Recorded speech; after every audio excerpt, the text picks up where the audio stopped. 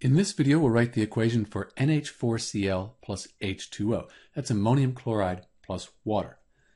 This NH4 group here, this is the ammonium group. It's a polyatomic ion.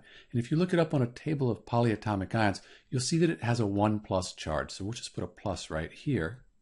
And then for chlorine, that's in group 17, sometimes called 7A on the periodic table. It's a halogen. It has a 1 minus charge. We're going to put a minus right here. And because we have this plus and this minus, this is an ionic compound.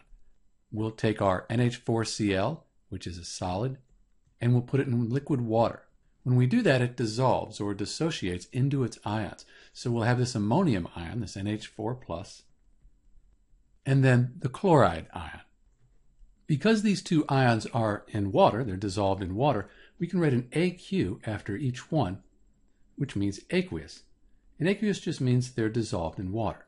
So we don't have to write H2O on this side of the equation because we've already written aqueous and that means they're dissolved in water.